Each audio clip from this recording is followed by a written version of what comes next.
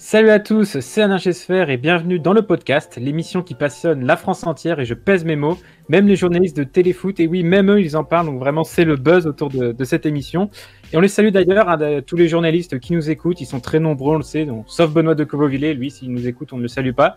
Euh, vous l'avez remarqué, notre ami Julien, bah, il a eu une blessure de dernière minute, donc je vais essayer de prendre tant bien que moi sa, relève et me mettre euh, dans ses chaussures à la présentation. Et c'est Marceau, que vous connaissez euh, du débrief, qui s'occupera de la chronique de Julien, à savoir V-News. Bonsoir Marceau. Bonsoir. Et bonsoir également Hôtelier. Bonsoir Larry. Bonsoir à tous. Et bonsoir Maxence. Bonsoir mesdames et messieurs. Et donc, euh, cette semaine, je vous promets que vous en aurez pour votre argent des pétages de plomb, de la contestation, du courrier recommandé, des résultats sportifs en dents de scie, des invitations à des pratiques sexuelles ou encore une grosse recrue au mercato. Il s'en est passé des choses cette semaine à Valenciennes. On va donc faire un tour complet de l'actu du VFC pendant une quarantaine de minutes. Comme d'habitude, nous terminerons avec l'interview d'un supporter de l'équipe que nous affrontons samedi. Alors ce n'est pas Riron, c'est pas Valladolid, c'est le Paris FC. Donc nous ferons cette interview avec quelqu'un de Passion Paris FC que nous avions déjà croisé en août ou en septembre, je ne sais plus dernier, pour le, pour le match aller, qui nous fera l'honneur de nous répondre. Et donc Marceau, tu as bien choisi ta semaine, sale petit coquin, puisque tu as pris la semaine annuelle où il se passe quelque chose à Valenciennes. Donc je te laisse revenir et faire réagir sur tout ce qui s'est passé euh, avec la rubrique V News. Merci. Alors oui, pour ceux qui ont hiberné pendant les fêtes ou qui ont souhaité se déconnecter du VFC, et franchement, euh, on les comprend, voici VNews. Donc on va faire les choses dans l'ordre chronologique. Les vacances ont débuté, sur une défaite en supériorité numérique face à Amiens, ce qui a eu le don de mettre les supporters en colère. Supporters qui ont pris leur plus belle plume pour adresser deux lettres, une à Eddy et une à Borloo, l'un pour lui demander de dégager, l'autre pour lui demander son soutien. Vous devinerez facilement qui a reçu quoi. Des lettres qui ont leur petit effet médiatique tout de même, puisque La Voix du Nord, France Bleu Nord et d'autres médias en ont parlé. Ironie du sort, la lettre recommandée à Eddie a coûté à peu près 6 balles à son expéditeur, soit 6 de plus que ce qu'a dépensé Eddie dans les transferts depuis Poépon. Première question, percevez-vous des premières retombées ou est-ce des coups d'épée dans l'eau, messieurs? Bah, écoute, c'est bien parce que c'est une des premières actions où, euh, on va dire entre guillemets, tout le monde est autour de la table. On a vu que c'était euh, les groupes et puis le, collectif Nova, donc ça montre qu'il y a de nouveau une union autour de la contestation. On ne peut que, que s'en réjouir. Et puis, euh, apparemment, je sais de sources sûres avec le suivi de courrier qui qui est allé retirer sa lettre. Donc, peut-être que ça portera ses fruits et que le 24 janvier, il partira. On l'espère tous.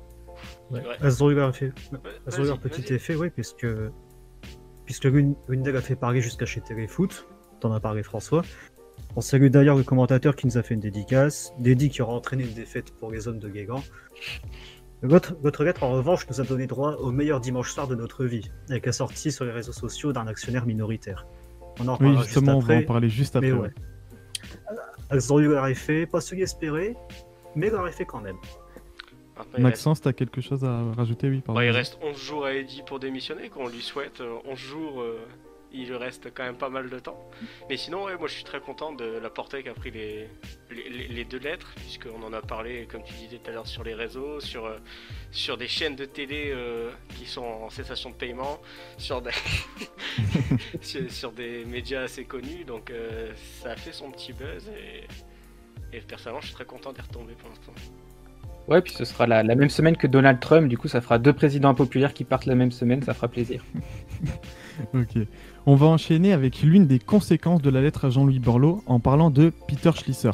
Donc son ah. aurait pu le laisser penser, mais non, il ne s'agit pas d'une ex-star du rock tombée dans la drogue dure, mais bien d'un actionnaire du club proche de Ziyech qui a invité sur Facebook les supporters du VFC à, je cite, se faire sodomiser Bon, pour ceux qui étaient sur les réseaux sociaux dimanche soir, on était sur de la soirée d'anthologie, un bad buzz énorme relayé par divers médias nationaux, de RMC Sport à SoFoot.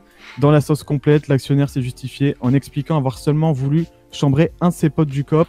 On a connu mieux comme excuse. Et donc, messieurs, quelques jours après ce légendaire épisode, quel est votre ressenti sur cette affaire? Peter est-il impardonnable? Bah, écoute, euh, Peter est-il impardonnable Oui, bah, personnellement, malgré ses excuses totalement bidons, je lui pardonne absolument pas parce que c'est quand même catastrophique ce qu'il dit. Parce qu'il va falloir en parler des excuses. Hein. J'ai voulu envoyer un message à mon pote qui m'a dit. Euh, qui, m'a envoyé ça et j'ai voulu lui répondre d'aller se faire sodomiser avec tous ses potes. Bon, c'est un peu bizarre quand même comme SMS. Euh. J'espère que c'est pas les mêmes messages qu'il lui envoie d'habitude. mais, mais ouais, bon, Peter Schlisser, voilà, il a pris ce qu'il a pris, hein, et il a eu plus de 300 réponses euh, à son commentaire en une soirée à peu près. Peut-être Ouais, deux, ouais. Pe- Peut-être deux parce que le lendemain c'est un petit peu débordé aussi. Mais allez, en, en deux jours il a pris plus de 300 réponses et c'est quand même assez énorme. On, voit- on voit quand même que Valenciennes est capable de réunir quand quelqu'un insulte, euh, insulte le club et, et ses supporters. Quoi. Ouais, non, mais déjà sur le, la forme, les excuses elles sont totalement bidons parce que quand on se trompe, on supprime son commentaire et on commente pas une demi-heure après. J'assume totalement, mon gars, si t'as un problème, tu viens, tu viens le lendemain et on se tape. hein, c'est ça déjà sur le sur la forme, il faut peut-être un peu réfléchir avant de faire des excuses. Euh, sur le fond, bah écoute, euh, ça arrive à tout le monde de, de craquer. Lui, c'était ce, ce jour-là, il a craqué ce jour-là, bah pourquoi pas. Après, si, c'est assez révélateur, quoi. Un actionnaire qui pète les plombs comme ça, qui se remet pas en question, qui a l'air totalement déconnecté, qui se rend pas compte qu'il est en train de faire une connerie, qui, on le rappelle, a fait le buzz dans la, dans la France entière, puisque tous les médias nous ont relayé, sauf l'équipe qui est en grève, mais quand même, ça prouve quand même que ceux qui dirigent le VFC n'ont peut-être pas des capacités de, de discernement et de réflexion qui seraient nécessaires pour euh, mener la barque. Puis bah sinon, euh, j'ai envie de dire, on n'a pas entendu Peter Schisser pour se rendre compte que la direction méprisait ouvertement les supporters. Ça, ça fait quelques années qu'on le sait quand même. Ouais, bah, bien sûr, il est impardonnable. Et sa défense, et, ouais, sa défense est à l'image de la politique du club, et faite avec des bouts de chandelle. Mm, mm. Tenir de tes propos, même dans le cadre privé, est très révélateur.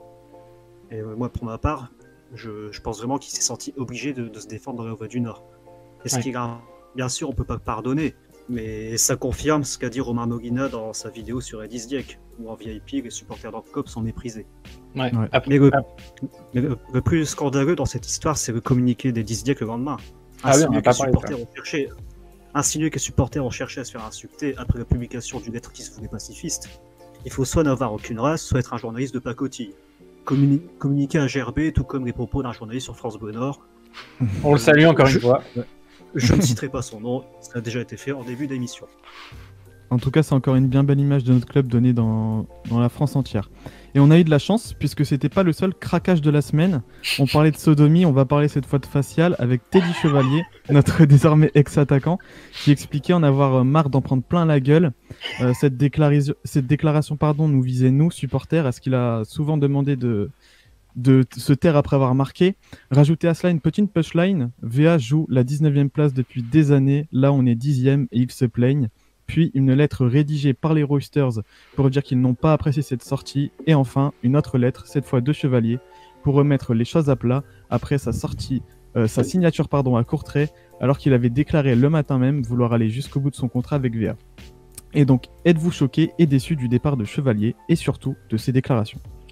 Bah écoute, sportivement, c'est peut-être un mal pour un bien parce que c'est apparemment ce qui a conditionné le retour en prêt de Robaille pour 18 mois. Donc sportivement, je pense qu'un chevalier qui est quand même en perte de vitesse, bah, il prend de l'âge par rapport à un Robaille qui a tout à gagner à Valenciennes pour se relancer, c'est pas mal. Mhm. Et après, je pense que sur la forme, c'était très maladroit et c'est bon, c'est beaucoup moins grave et c'est un peu, je pense, la même chose que notre ami Peter. C'est qu'il a parlé, il a réfléchi ensuite, donc il s'est, il s'est lâché, puis il s'est pas rendu compte, je pense, de ce qu'il disait. Enfin, on le connaît, quoi, il est un peu sanguin. Et enfin, voilà, quoi, je lui en veux beaucoup moins qu'à Peter Schlisser, parce que bah, déjà, euh, il n'est pas censé incarner la, direction du club, et puis il lui, au moins, il s'est excusé avec des excuses qui, qui tenaient la route. Donc, euh, enfin voilà, quoi, c'est un pétage de plomb, euh, comme ça peut arriver dans la carrière d'un joueur, il s'est excusé, bon, voilà, incident est clos. Bah, moi je rajoutais, ces déclarations dans la presse, qu'elles aient été déformées ou non, je les trouve pas appropriées. Même quand, parce que même quand il n'était pas meilleur de sa forme, Teddy a toujours été soutenu par la majeure partie du, du stade. Ouais. Et parce, parce qu'il est du coin, qu'il est passé par VA dans sa jeunesse, qu'il rêvait de jouer à VA un jour, il bénéficiait du totem d'immunité. Si Chevalier s'appelait Fédéré ou Gouchelou, il y a longtemps qu'il aurait été dans le collimateur, euh, il aurait été dans collimateur depuis un moment. Son droit de réponse, comme l'a dit François, est plus sincère que Peter Schlisser. Il y a une chose qui est sûre, c'est que son départ, il fait chier. Parce que je pense que Chevalier, Guillaume Cabral et Robaille, là, on aurait parlé de vrais, de vrais renforts si Chevalier était resté avec euh, l'arrivée de Robaille. À Maxence, t'as envie de rajouter quelque chose? Non, Non bon, ils ont tout dit, hein, franchement. Que dire après des, des si belles paroles? Bon, vous l'aurez compris, l'actu a été très très chaude. On aurait pu parler aussi du nouveau CM qui s'avère être euh, un supporter du RC Lens. De la victoire sur tapis vert contre Niort, du dernier communiqué d'Eddy, de Guégan qui tacle son groupe après une défaite en supériorité numérique contre Nancy, face à qui on menait 2-0. Un vrai régal. Et voici la dernière euh, question de ce V-News. Comment qualifierez-vous les derniers jours que l'on vient de passer? Est-ce qu'il y a une de ces actus sur laquelle vous souhaitez réagir? Alors moi, je vais reprendre la tradition de Julien qui est de résumer euh, la situation souvent en un mot. Et j'utiliserai le mot fébrilité parce que ça prouve quand même que les gens qui gèrent le club sont loin d'être sereins quand on a un joueur et un actionnaire qui pète les plombs comme ça en une semaine. Je pense que c'est assez révélateur des tensions qu'il y a au sein du club. Et moi j'aime bien parce qu'écoute, ça, ça encourage la contestation, ça montre que notamment les actionnaires, ils sont à, fleur de peau, ils se rendent peut-être compte qu'ils sont pas irréprochables loin de là. Donc euh, si ça peut leur aider à ouvrir les yeux, on fait avec plaisir. Moi j'ai bien envie de dire génial. Parce que putain, ça fait quand même 7 ans qu'on se fait chier quand même euh, tous les jours à supporter Valenciennes. Et là enfin on peut un petit peu s'amuser quoi. C'est nos premiers euh, c'est nos premiers moments de passionnés où on peut enfin se régaler depuis un petit moment. mais oui, non, après la situation reste un peu triste au niveau de la direction, etc. Bon, on a l'habitude quand même. L'affaire de Peter Schlisser euh, en rajoute une couche et, et voilà, bon, ce qu'il a dit sur les supporters, c'est absolument gravissime et, les réactions ont, été là. Mais on va dire que côté euh, supporter, euh, personnellement, ça m'a bien amusé quand même cette semaine. Et juste, je me permets de rajouter rapidement un petit truc. Ce qui est bien mm-hmm. avec l'affaire Peter Schlisser, c'est que ça a, ça a, pris une ampleur nationale. Et on sait que Valenciennes n'intéresse plus personne. Mais là, euh, enfin, tout le monde l'a vu sur Twitter. Il y a des gens qui se sont dit, mais qu'est-ce qui se passe à Valenciennes? C'est quoi ce bordel? Donc, merci à Peter qui a permis de faire la publicité nationale de l'échec des Dieck et de ses manières et de, et de sa gestion. Et donc c'est une bonne nouvelle. Valenciennes a intéressé pour de mauvaises raisons, mais ça a mis en lumière ce qui n'allait pas à Valenciennes, donc tant mieux. Exact. en, quelques mots, en quelques mots, j'étais au plus bas après la victoire au Havre parce que ça m'a fait perdre mon pari en sport. et, depuis dimanche soir, je me sens requinqué. Euh, avant, qu'on a gagné au Havre, bah, je ne bordais plus, pour être honnête. Et là, je me sens en pleine forme. Quelqu'un veut rajouter quelque chose? Bah écoute, euh, si bande de nouveau, il pourra peut-être répondre à l'invitation de Monsieur Finzer. Euh, on vous laisse vous arranger. Hein. Eh bien, VNews, c'est fini pour cette semaine et je te laisse la parole, François, pour ta rubrique VA à l'ancienne. Merci Marceau. Bah, comme vous le voyez, l'actualité se déchaîne, donc de temps en temps, c'est bien de prendre un petit pas de recul et d'évoquer un peu le passé avec du recul et avec de la sérénité. Et donc, bah, le joueur de la semaine, ce sera Joseph Bonnel, qui est né donc, le 4 janvier. Donc, cette chronique était prévue pour la semaine dernière, mais comme on l'a pas fait la semaine dernière et que je l'avais déjà faite, vous pensez pas que j'allais l'acheter. Donc, euh, Joseph Bonnel, qui est considéré peut-être avec Serge Maznaghetti comme un des plus ou le plus grand joueur de l'histoire du club. Donc, pour vous retracer son parcours originaire de l'Hérault, il jouera donc logiquement à Montpellier de 1957 à 1959. Donc il faut savoir que c'est un milieu offensif pour le coup. Il inscrira quand même 30 buts en 85 matchs et il arrivera donc à Valenciennes en même temps que Serge Maznaghetti en 1959. Il jouera pendant 8 ans pour un total de 47 buts en 262 matchs et il fera donc partie de la grande équipe de Robert Domergue qui arrivera deux fois sur le podium. C'est un peu le maître à jouer de son équipe et beaucoup disent que s'il n'avait pas eu à faire son service militaire pendant ces années-là, peut-être que Valenciennes aurait fini plus haut. Regret éternel, comme on dit. Ensuite, il y aura une petite erreur de parcours puisqu'il partira euh, dans les bagages de Romer Domergue à l'Olympique de Marseille pendant 7 ans, pour quand même un total de 59 buts. Et il remportera deux fois la Coupe de France et deux fois le Championnat de France, donc ce n'est quand même euh, pas rien. Ensuite, il deviendra entraîneur de l'Olympique de Marseille, mais sans succès il ira, enfin, il retournera dans sa région de l'Hérault puisqu'il ira à l'AS Béziers où il sera entraîneur-joueur de 1973 à 1976. Donc au total, c'est quand même 19 ans de carrière, ce qui est quand même beaucoup pour l'époque. 665 matchs, donc il a bien fait de s'arrêter, et 148 buts. Et ce sera 25 sélections en équipe de France pour un but au total dans un match 3 partout, sachez-le, contre l'URSS. Donc vraiment, les joueurs de Valenciennes avaient une passion pour l'URSS apparemment.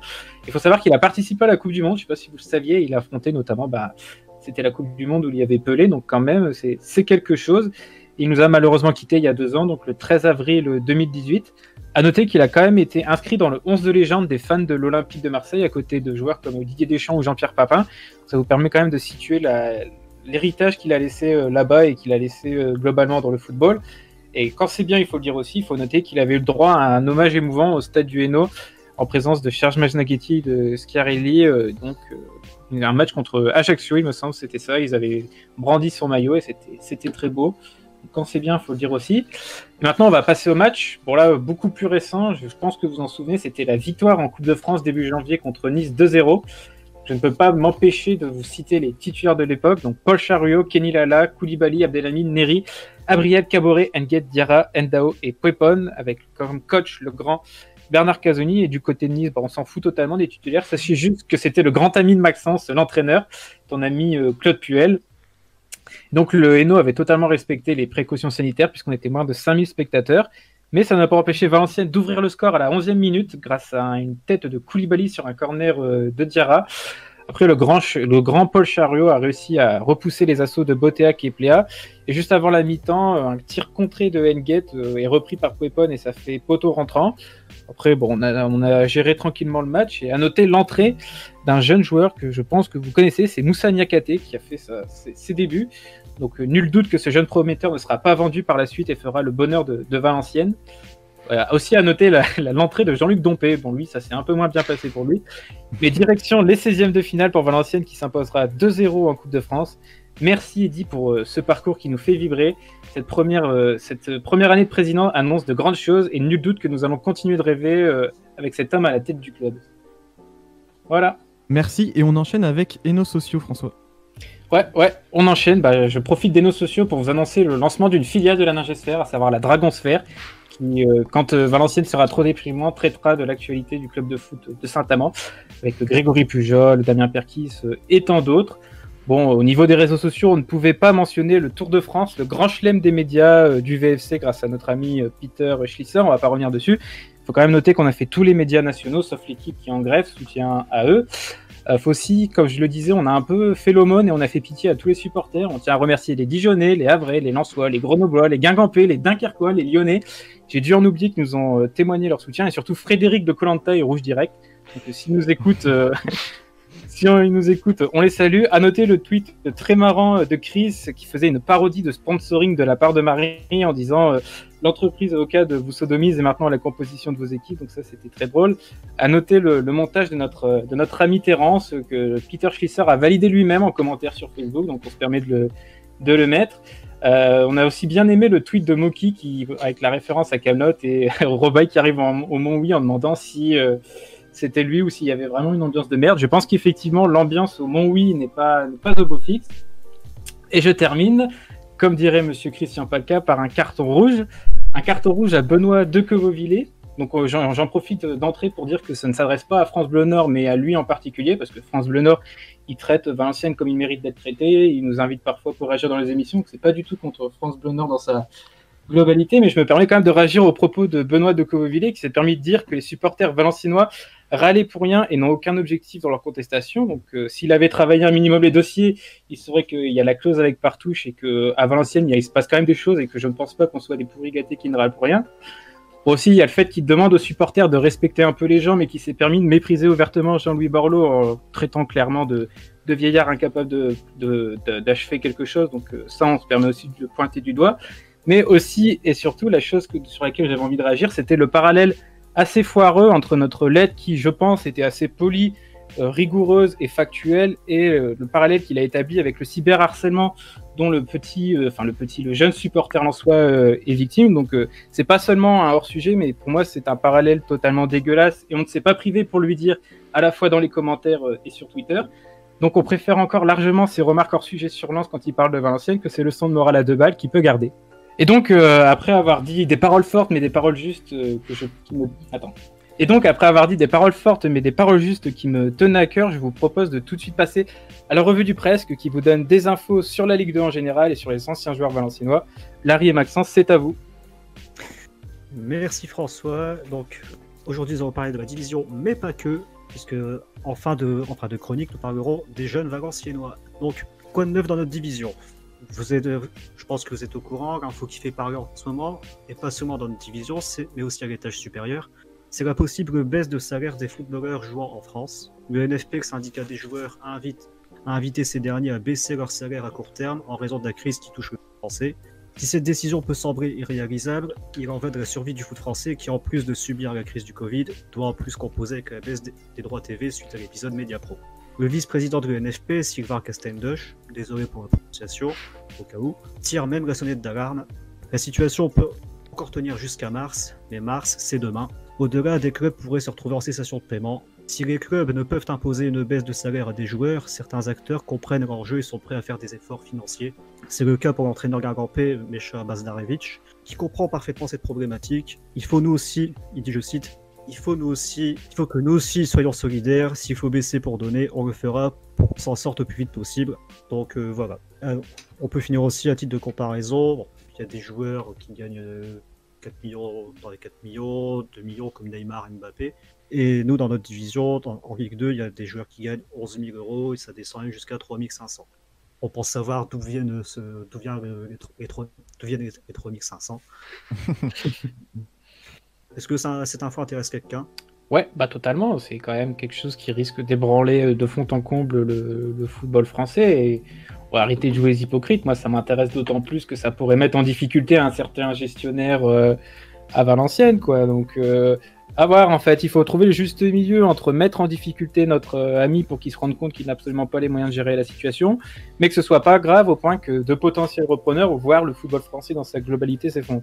C'est un drame parce que j'ai vu aussi que Canal allait rendre son, lot. Parce que vu que Mediapro diffuse gratuitement en ce moment euh, et qu'ils payent leur lot, bah, ils, comprennent pas. Donc ils, ont décidé de rendre leur lot et ils vont appeler euh, un nouvel appel d'offres justement. Et euh, ça, c'est un, c'est, enfin, c'était obligatoire, mais c'est terrible pour le football français parce que Canal va être seul sur le dossier avec Beansport, avec qui ils sont, ils sont partenaires. Donc, ils vont forcément essayer d'avoir les, les, droits TV au, prix minimum, et, c'est terrible pour le foot français. Mais totalement. Déjà que là, on parle d'une baisse assez, assez conséquente, puisqu'on arrivait près du milliard, si je ne me trompe pas, en tant que pour, pour les droits TV de 2020-2024, il me semble. Et là, ça parle d'une somme euh, bien plus basse euh, que ce milliard, et du coup, ben, ça va être bien compliqué pour tous les clubs, que ce soit Ligue 1, Ligue 2. Même les plus solides vont souffrir, je pense, et ne parlons même pas des plus petits, du coup. Après, il faut quand même souligner qu'il y a une grande hypocrisie autour de ça. Les acteurs qui, là, disent on s'est fait avoir, ça va être une catastrophe. Enfin, c'est le principe d'une bulle inflationniste, quoi. Je pense qu'ils étaient tous très contents de signer l'appel d'offres et quand on leur a fait miroiter des millions.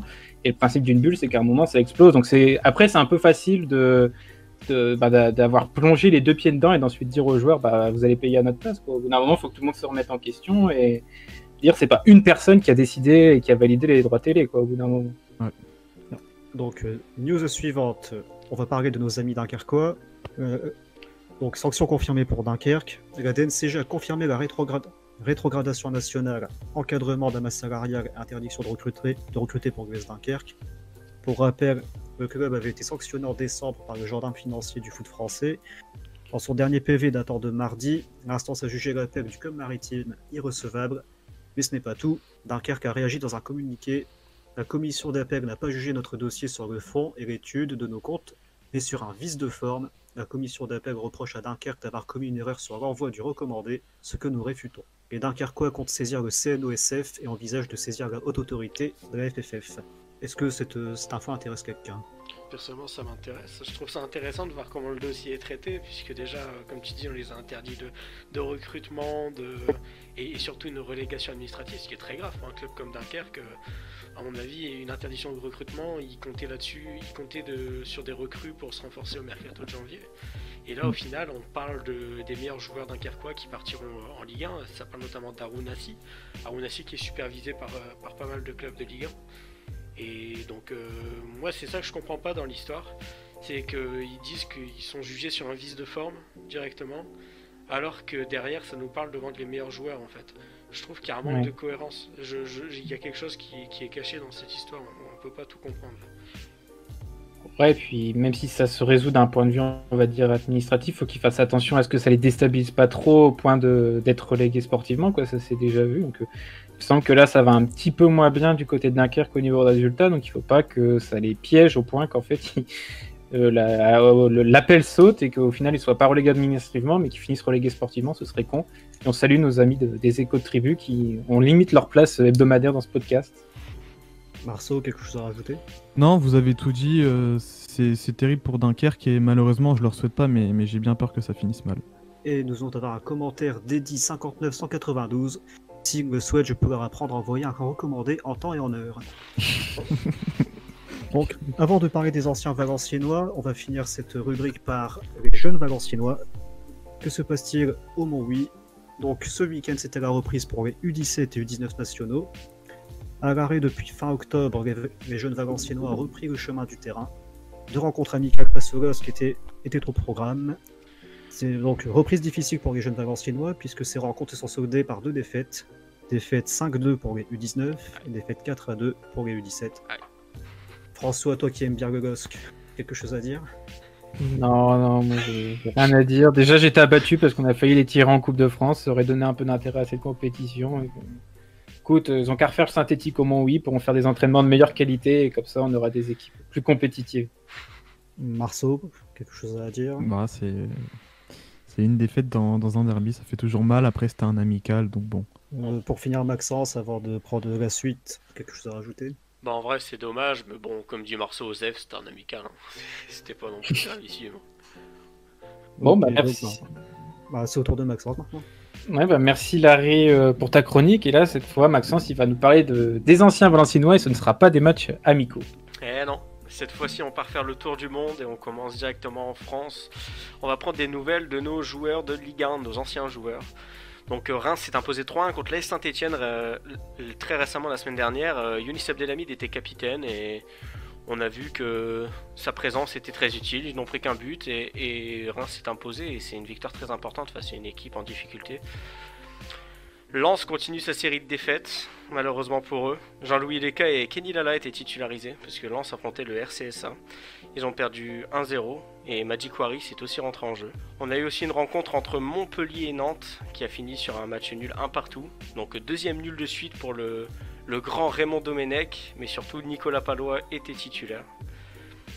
Ensuite, euh, Monaco a détruit Angers 3-0. Angelo Fugini a disputé la rencontre et est sorti, euh, est sorti au bout, en deuxième mi-temps. Mais surtout, ce qu'il faut noter, c'est que Jimmy Cabot a aussi joué. Et, et ça, ça fait mal au cœur. Tout ça pour un numéro de maillot, quoi. Ça, ça s'est joué à ça. Ensuite, on peut partir du côté de la Belgique. François en parlait tout à l'heure, mais Jules Varégem a gagné 1-0 face à Moucron et Jean-Luc Dompé était titulaire. C'est pour ça que je dis que François en parlait. Jean-Luc Dompé, ce grand joueur valenciennois, obligé d'en parler un petit peu. Il, a remporté cette rencontre. Bon, il n'a pas été décisif, ça change pas.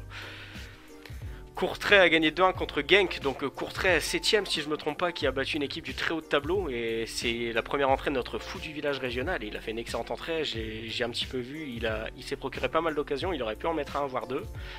Malheureusement pour lui, il est un petit peu croqué, mais rien de très grave. Il va pouvoir, euh, il, va pouvoir se mettre dans le bain, euh, le, le bain belge. Ensuite, on a Ostende qui s'est imposé 3-2 contre Charleroi. Et oui, depuis le dernier podcast, Nicolas Pento est redevenu le patron dans les cages, mais défaite quand même. en Angleterre, Huddersfield a perdu 2-1 contre Reading. Mbenza était titulaire pour la défaite de son équipe il y a 10 jours, puisque oui, il n'y a pas eu de match entre temps en, Angleterre, c'était il y a 10 jours. Mais oui, Mbenza était titulaire, mais il a rien pu faire face à la défaite euh, face, à, Reading. En Italie, l'Elas Vérone a battu 2-1 Croton.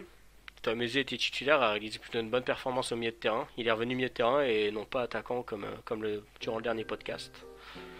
Ensuite, on a le PAS Giannina qui a fait 0-0 contre l'Aris Thessaloniki. L'Insereuse était titulaire. Bon, rien à dire sur ce match, ça avait l'air d'être chiant.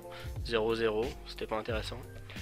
Mais mon coup de cœur de la semaine, et ça se déroule au Portugal en Segunda Liga. C'était Ah. le match euh, Casapia euh, contre Aruca, ça finit en match nul. Mais c'est le premier but de Baptiste Aloé au Portugal.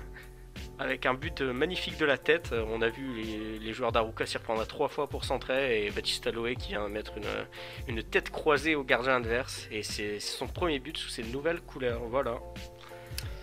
Merci beaucoup Maxence pour cette petite update très rafraîchissant des Valenciennois qui arrivent à faire quelque chose de leur carrière. Donc, je vous propose de passer tout de suite au débat, un débat qui sera autour de notre recrue, qui est une ancienne recrue et qui est désormais une nouvelle recrue, à savoir le retour de Gaëtan Roba, il vous a posé cette question euh, sur Twitter. Retour de Gaëtan Roba, vous en pensez quoi? Bonne affaire sportive, quel apport pour l'équipe De quoi avoir de nouvelles ambitions? Tout ça avec des points d'interrogation. Donc pour que ce soit un peu plus digeste, je vous propose que je lise quelques avis au début et que je vous fasse intervenir ensuite pour éviter qu'à la fin je lise 12 avis d'affilée. Alors Paul nous dit, au niveau sportif, je pense que c'est une vraie plus-value par rapport à Teddy. Concernant les ambitions, ça dépend du reste de notre mercato. J'espère qu'on ne va pas perdre l'un de nos deux attaquants ou Noah, Julien ou Cécile. Pour Florent, il dit pour moi c'est de bon augure, il va être en confiance dans un club qu'il connaît où techniquement il va montrer son niveau et surtout il peut être une rampe de lancement vers une stabilisation dans le top 7, voire plus si des moyens sont là. Pour Benoît, clairement, c'est un vrai plus sur le point offensif. Maintenant, cela reste un prêt. Il sera cependant motivé car il a besoin de se relancer après deux échecs à Lens et Guingamp et enfin Kendu parce que c'est court. Pour moi, c'est une bonne nouvelle car on récupère un buteur de talent et polyvalent qui aime et connaît le club. Donc maintenant, je m'en remets à vous, messieurs. Gaëtan Robaille, sportivement, est-ce que c'est une bonne affaire? Oui, c'est une bonne affaire, hein, Gaëtan Robaille. Euh, c'est un joueur qui avait, qui avait des difficultés du côté de Guingamp, qui, a, bon, qui avait choisi de partir justement en Bretagne plutôt qu'ici au dernier mercato. Mais ça reste un joueur avec des très très grosses qualités, qu'il a déjà prouvé ici. Mais moi, comme je disais la fois, j'ai des réticences parce que je sais qu'Olivier Guégan, euh, pas le jeu offensif n'est pas son point fort. Que Gaëtan Robaille a besoin de beaucoup de confiance et c'est de la confiance qu'il avait sur Reginald Ray. Et la fois, je disais justement en privé. Euh, justement pour moi ce prêt ça va conclure le dossier Reginald Ray. On va pouvoir voir si c'était vraiment un joueur, euh, si c'était vraiment un coach offensif ou si vraiment il comptait sur des individualités. Et là on va pouvoir voir justement si Gaëtan Robaille est une individualité ou est-ce qu'il va aider le collectif euh, d'Olivier Guégan. Moi j'ai des réticences parce que je sais que sous Olivier Guégan on ne marque pas beaucoup. Et j'espère que Gaëtan Robaille arrivera à s'inclure dans le collectif et on lui souhaite en tout cas. Bah, justement, c'était la question que préparez-vous, Marceau et Larry, je vous interrogerai là-dessus. Quel apport euh, sportif pour Gaëtan Robaille Mais là, j'avais une nouvelle fois faire un détour par les avis. Donc, il y a Timothée, qui vous dit J'étais dégoûté lors de son départ, mais c'était sûr vu ses perfs et nos moyens exorbitants, entre parenthèses lol. Ce qu'il apporte à l'équipe, c'est de la percussion, de l'adresse devant le but et un bon trio offensif avec Guillaume en pointe et Cabral et lui sur les ailes. Après, on n'est pas sûr qu'il sera au même niveau. Manu qui nous dit tout va dépendre de son investissement. S'il est au niveau des trois saisons précédentes, ok. Sinon, ce sera une déception de plus. Medin Zdiek. Nadivas, oui, très bonne chose, il peut apporter un dynamisme à l'attaque et une touche technique, qui manquait à l'équipe depuis la blessure de Malek. Ensuite, pour les ambitions, je suis dubitatif. Le problème, c'est le banc, il faudra un milieu en attaquant pour compléter le groupe. Et Chris qui dit qui tout soit il est dans la continuité de son prêt à et il aura du mal à s'y mettre, ou bien il sera revanchard et voudra faire une bonne deuxième partie de saison à voir. Donc là, messieurs, je, reviens vers vous. Gaëtan Robaille, oui, mais Gaëtan Robaille, pourquoi faire? À quel poste? Pour faire quoi? Vous en voulez, vous voulez en faire quoi de Gaëtan Robaille bah, c'est intéressant parce que déjà c'est un long prêt, donc c'est un prêt mais c'est un long prêt, et ça va permettre à, tout le monde de jouer à, son, vrai poste devant, euh, parce que Cabral joue souvent en milieu gauche euh, depuis le début de la saison, mais il faut savoir que lui il est plutôt milieu droit. Bon, c'est ça change pas grand chose, mais enfin on peut penser que ça change pas grand chose, mais ça peut quand même jouer. Et du coup, on va pouvoir avoir une attaque Robaille à gauche, Guillaume en pointe et, Cabral à droite. Maintenant, comme l'a dit euh, Maxence, faut qu'il ait une totale confiance du coach. Et je suis pas sûr que le style de jeu actuel soit fait pour lui. Maintenant, c'est à voir. J'espère me tromper. J'espère qu'on me fera dire le contraire. Mais, euh, mais c'est à voir. Maintenant, c'est dommage de ne pas l'avoir fait euh, dès cet été. Parce que maintenant, je pense que le top 5 me semble un peu euh, difficilement rattrapable. Donc, à voir. Justement, Marceau, tu parles de top 5, je vais t'interroger là-dessus, Larry, après avoir les avis, à savoir est-ce que bah, l'arrivée de Gaëtan Robaille, ça peut être euh, le retour des ambitions à viser le top 5 ou est-ce que c'est mort? Mais je vais finir de lire les avis. Donc il y a Mathias qui dit une vraie plus-value avec maintenant un trio offensif très alléchant, un 11 qui a l'air vraiment intéressant sur le papier et qui nous permettra de gagner quelques places au classement, pourquoi pas de rentrer dans le top 8, mais pas plus vu la faible profondeur de banc. Corentin qui dit Je pense que l'équipe de maintenant manque d'un joueur qui peut chambouler un match. J'espère que Robaille sera ce joueur et remettra le VFC sur ses pattes. Euh, vrai, il nous faut un ailier gauche en prêt pour remplacer Malek. Après, peut-être que Robaille va aller sur ce poste. Gérald qui nous dit Tout dépend de la durée de son prêt. J'ai entendu qu'il était prêté 6 mois et après, j'ai entendu 18 mois. Si c'est la deuxième, je pense qu'il nous fera beaucoup de bien. Mais pour la saison prochaine, cette saison, il va falloir qu'il reprenne physiquement et psychologiquement.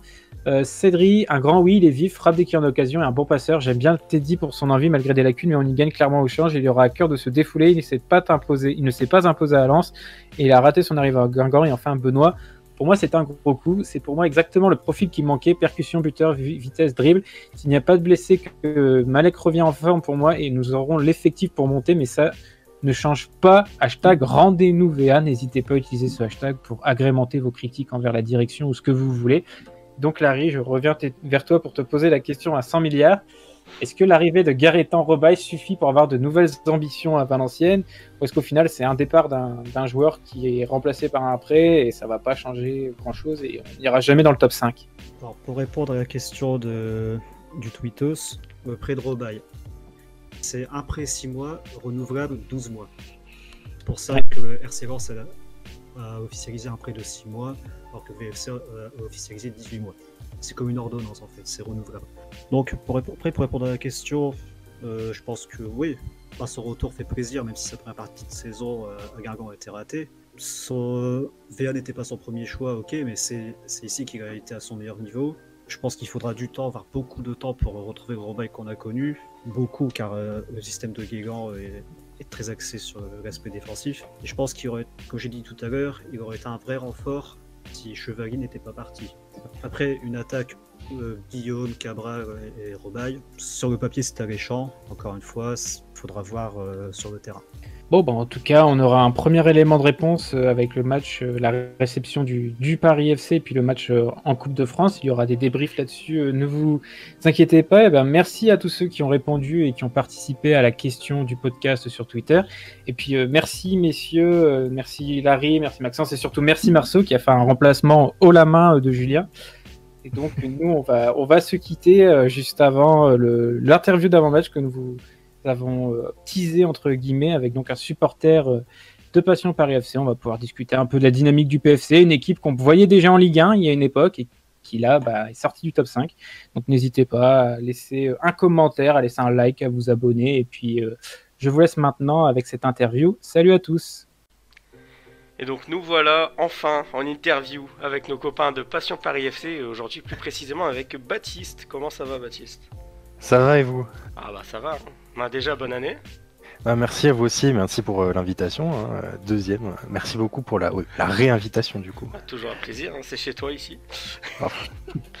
Et du coup, pour commencer, ben, dis-nous un petit peu euh, comment ça va le Paris FC, comment ça va, et Passion Paris FC aussi, comment ça va? Euh, bah, peut-être que Passion Paris FC va un peu mieux que Paris FC en ce moment, euh, ce qui n'était pas, on va dire, le cas au départ, mais c'est vrai que oui. Euh, Paris FC est un peu dans une, période creuse, voire très creuse, sur voilà cette fin d'année, début d'année 2021.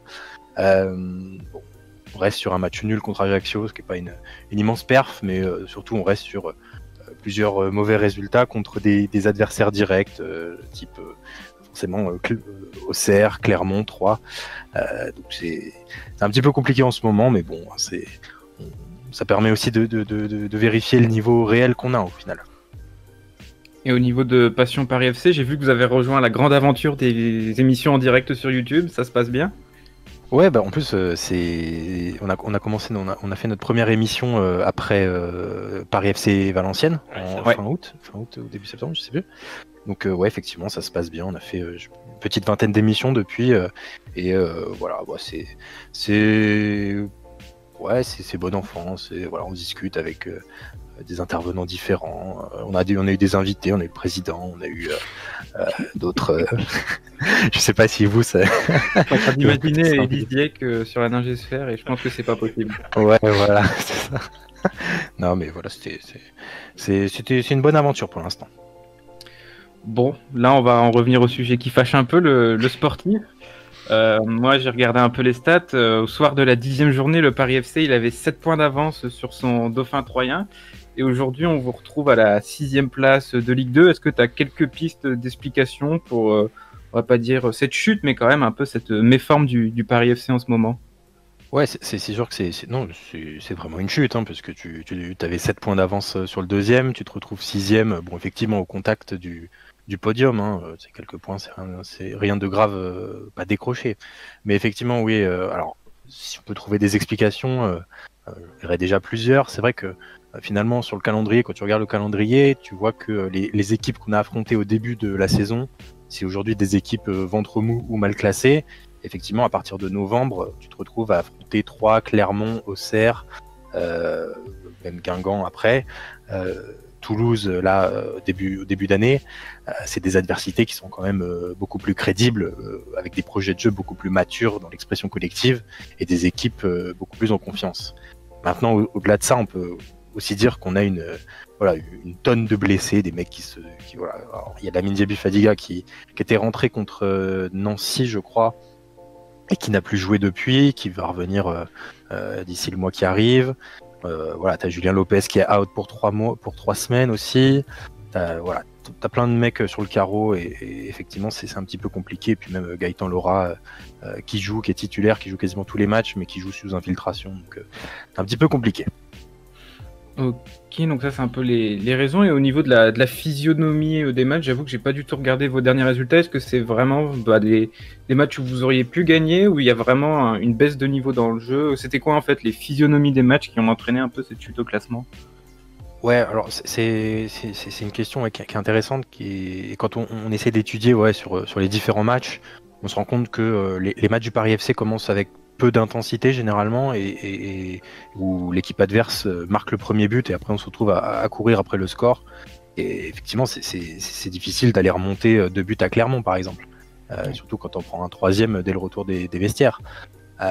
mais ce qu'il faut dire aussi, c'est que voilà, les premières mi-temps du Paris FC généralement sont assez pauvres en occasion et pour le coup les, les deuxièmes sont beaucoup plus aboutis et c'est évidemment, ce qui laisse pas mal de regrets euh, à la 90e minute. Quand tu voilà, as poussé pendant 30 euh, minutes, tu as, laissé beaucoup d'énergie pour finalement euh, voilà, faire perdre 3-2 parce que voilà, tu as, pris 3 buts bêtes en début de match.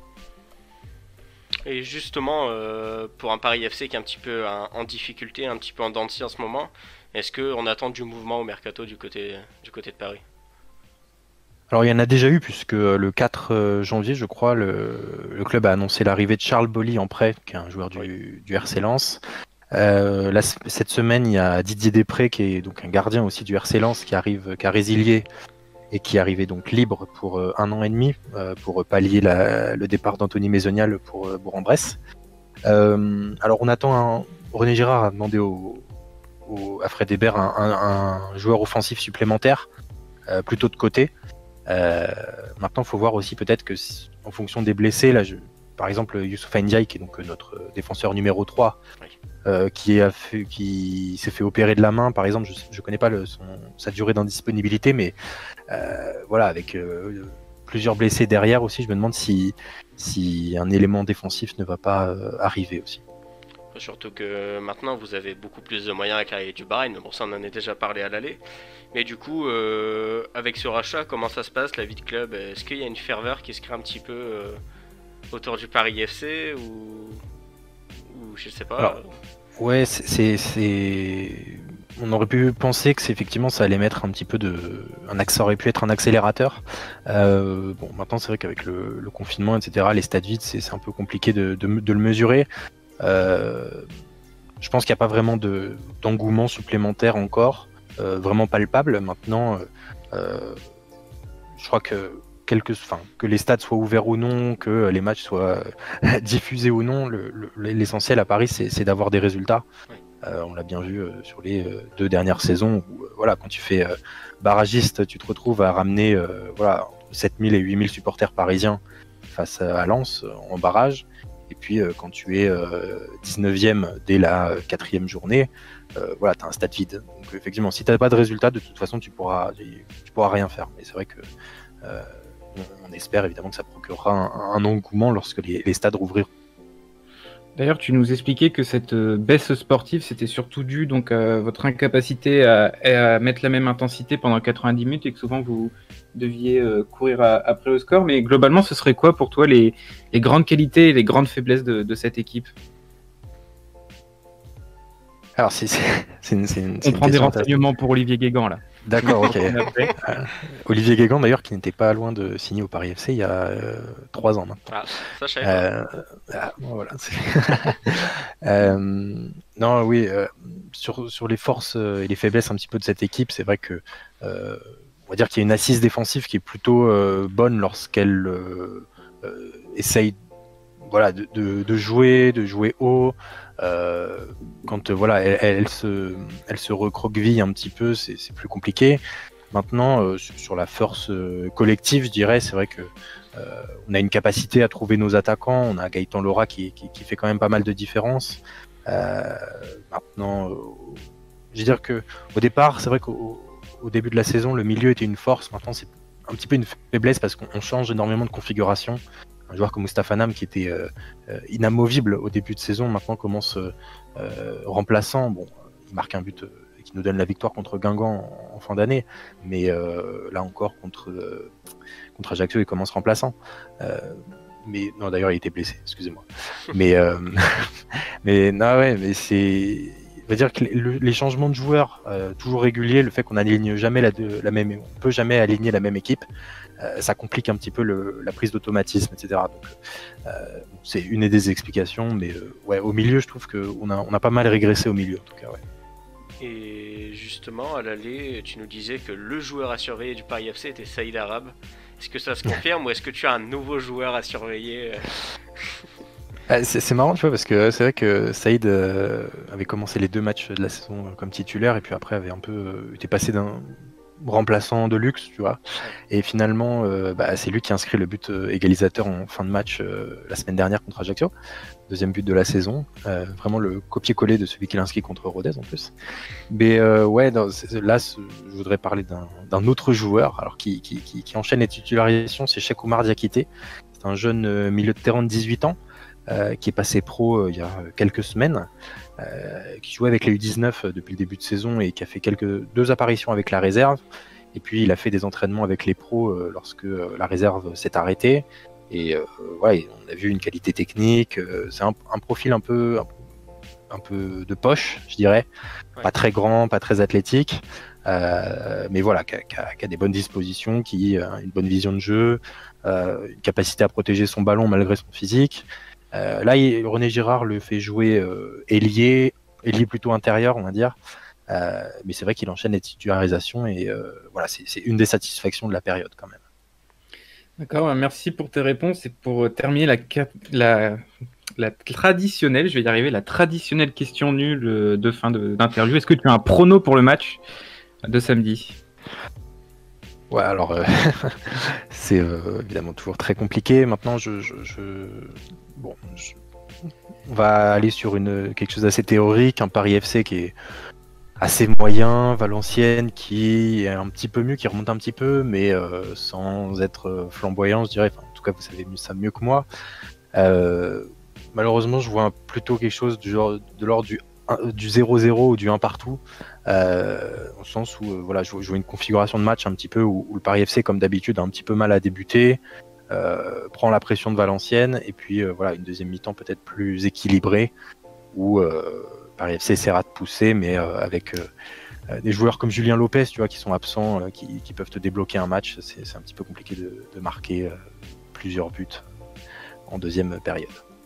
D'accord, bah merci Baptiste pour, temps et pour ton temps et tes réponses. Et puis nous, bah, on se retrouvera donc la Ningesphère pour le débrief du match euh, samedi en direct. Et si ce match vous a vraiment passionné, n'hésitez pas à aller voir l'émission donc de Passion Paris FC euh, lundi qui, à mon avis, reviendra quand même un petit peu sur, euh, sur ce match. Salut à tous. Merci à vous. Salut.